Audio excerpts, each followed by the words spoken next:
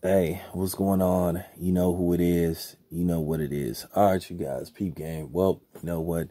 This is just more proof where Stephen A. Smith is just taking a loss and he just can't accept it. So now, in a, another failed attempt to try to manipulate black people and try to basically save face for Jay Z, they attempt to bring Michael Eric Dyson basically to talk all that double talk about black people and how uh, people work behind the scenes and all this type of stuff and saying, well, he believed that Jay Z. When is Jay Z gonna come forward and say that he had that so-called bullshit workout for Colin Kaepernick arranged? Because it's funny, you got everybody else talking about Jay Z allegedly did it, but you ain't heard from Jay Z himself. Because you know why? Jay Z is scared to say that he has something to do with it in case more information come out about what happened with that workout. Because at the end of the day, most people with common sense already know what it was about. It was about them. It was a fake workout. Colin Kaepernick was not going to get signed. Too many stipulations, too many too many d- different issues going on. And I agree with Dr. Boyce Watkins. ESPN need to stop talking about race issues and stop trying to bring other black people on to talk alongside another black person, which we all perceive him to be a sellout. Because at the end of the day, nobody cares what Michael Eric Dyson has to say. Michael Eric Dyson lost his credibility years ago because he was once again he was with the inconsistent blackness. So Michael Eric Dyson has lost all type of credibility. We all know what time it is with Jay Z. We all see what it is with Jay Z. Jay Z has too much of a bad history about snaking people.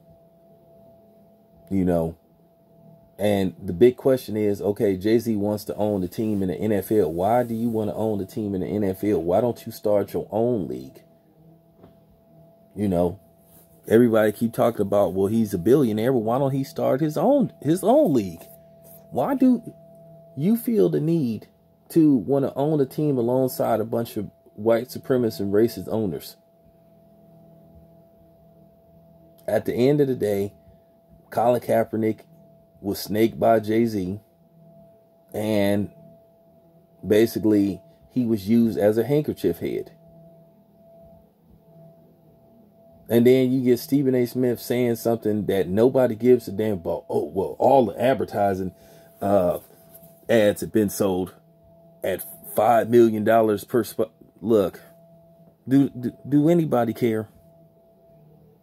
I believe that's the impact of Jake. I mean, this this dude, Michael Eric Dyson, had the nerve to try to insult black people's intelligence by trying to compare Jay Z to Martin Luther King.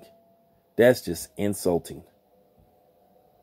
Jay Z ain't never stood for nothing except expanding his pocketbooks. That's the only thing that that, that camel faced Negro ever did.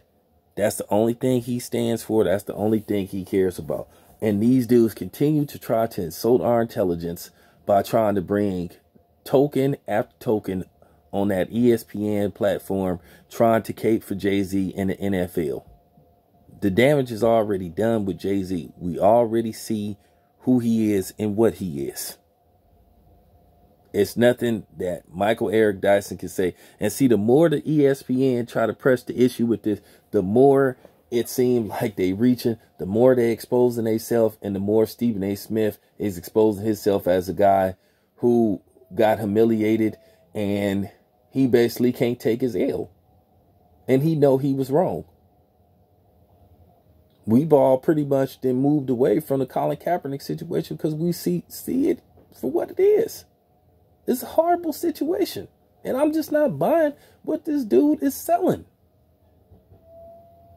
I think I think it's a travesty that you got the ESPN trying to insult people's intelligence.